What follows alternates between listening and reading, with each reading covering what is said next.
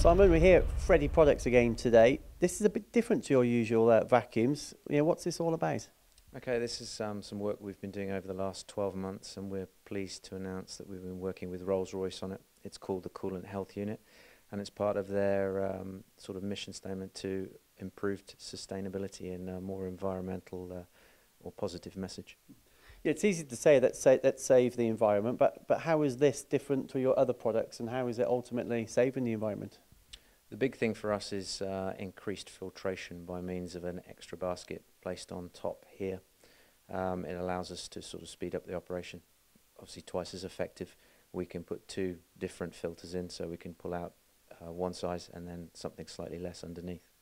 Okay, so exactly that. So the, the first filter would take out the larger particles and, and, the, and the lower one would be a 20, 30 micron filter maybe?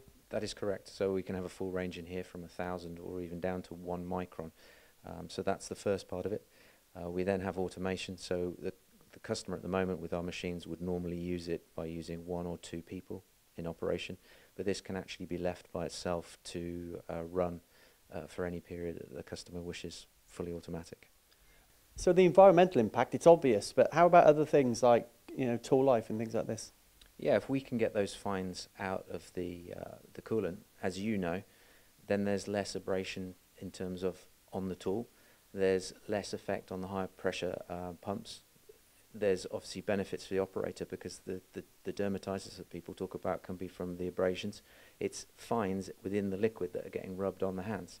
So lots of positives for the customer. And we've talked about Rolls-Royce. How have they quantified the saving? Is it in the, the amount of pounds or the amount of waste they've avoided?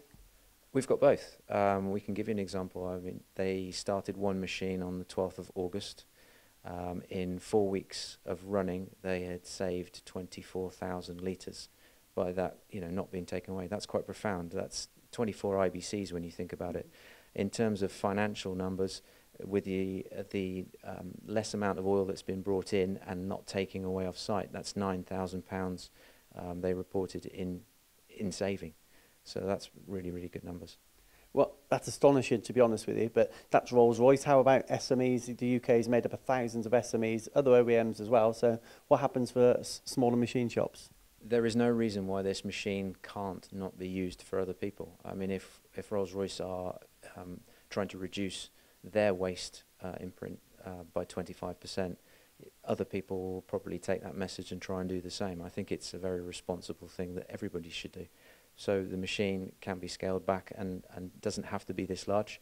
It could be, in theory, done on 50 litres for that smaller um, outfit. So to me, it's a no-brainer. You know, the environmental impact, you know, it's massive. But obviously, there's a, there's a financial payback to this as well, isn't there? Potentially. I mean, for the one example and for the 12 months working uh, with Rolls-Royce, we could potentially get a saving quite quickly within four weeks and the machine's paid for itself. And we can do that with any other Freddy, utilising this same principle. That was my next question. What happens if last month I bought a Freddy, I'm really happy with it, and I'm watching this video thinking, crikey, wish I'd have waited. That's right up my street. Well, we have thought about that, and we will probably do another video with you uh, very soon where this second filtration can be adapted to any Freddy right back to 1970. So can you talk us through it? How does it differ to your other units? Okay, so we mentioned about the twin filtration. So let's take that apart so we can see first of all. We'll take the lid off.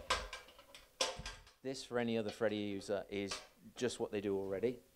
Inside we have our filter and filter basket and that is just the same as the other units. And then what we can do is we can take this turret off.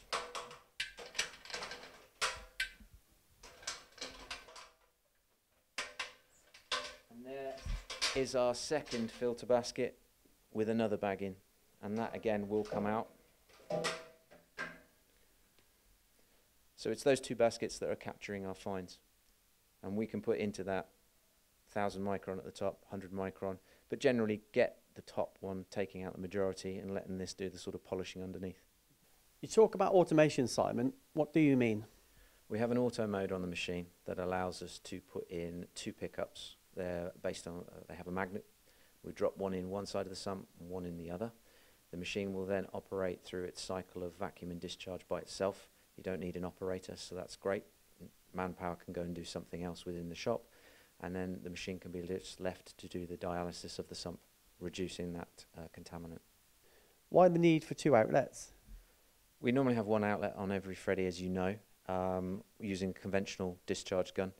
But with the Rolls-Royce uh, development on here, they wanted to get a washing lance so they could reach in and break up some of the hard pack that was found in the sumps. So that's why we came up with uh, another gun on the other side.